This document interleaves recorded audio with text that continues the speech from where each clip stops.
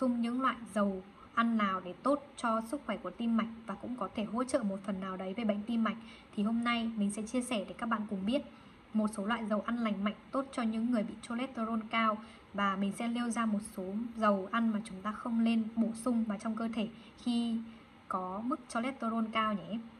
Thứ nhất là dầu ô liu.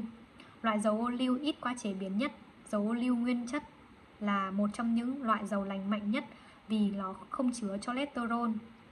Dầu ô liu tinh luyện Dầu ô liu tinh luyện có thể chịu được nhiệt độ trung bình cao, tuy nhiên dầu ô liu nguyên chất chỉ sử dụng ở nhiệt độ trung bình thấp hoặc mát hơn, thích hợp để xào nhẹ, làm nước sốt và trộn salad.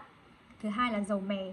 Dầu mè không chứa cholesterol nhưng có điểm bốc khói thấp hơn các loại dầu khác. Đây là loại dầu tốt nhất cho cholesterol. Dầu mè tinh luyện có thể chế biến các món ăn có nhiệt độ cao như xào và chiên ngập dầu. Nhưng dầu mè chưa tinh luyện thì chỉ có thể chế biến các món ăn có nhiệt độ trung bình như xào nhẹ và làm nước sốt. Thứ ba là dầu đậu phộng. Dầu đậu phộng, hay còn gọi là dầu lạc, là loại dầu ăn chịu nhiệt được cao, làm từ các loại hạt của cây đậu phộng.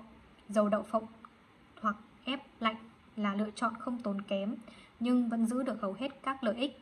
Dầu đậu phộng tinh luyện có thể dùng ở nhiệt độ cao như xào, nhưng dầu đậu phộng chưa tinh luyện chỉ có thể chịu đựng ở nhiệt độ trung bình. Nó cũng có thể dùng trong nước sốt và nước chấm. Dầu hướng dương, một loại dầu nhẹ với hương vị ít hương vị, dầu hướng dương tinh luyện có thể sử dụng để nấu ăn ở nhiệt độ cao. Dầu hướng dương chưa tinh luyện chỉ sử dụng trong các món không dùng nhiệt, chẳng hạn như nước sốt và nước chấm. Dầu đậu lành, một loại dầu đa năng có điểm khói cao, dầu đậu lành có hương vị trung tính và có thể dùng cho mọi cách chế biến từ nước sốt, trộn salad cho đến chiên ngập dầu. Những người bị dị ứng với đậu lành nên cẩn thận với các loại đậu lành ép lạnh. Tuy nhiên, trong dầu đậu lành tinh chế cao, các chất gây dị ứng protein đã được loại bỏ và nghiên cứu cho thấy nó không gây hại, không gây ra phản ứng.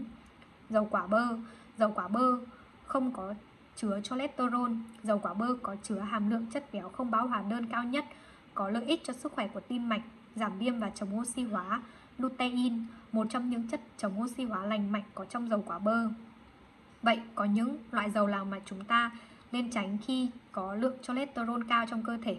Thứ nhất là chất béo bão hòa, thứ hai là dầu hydro hóa, thứ ba là dầu dừa.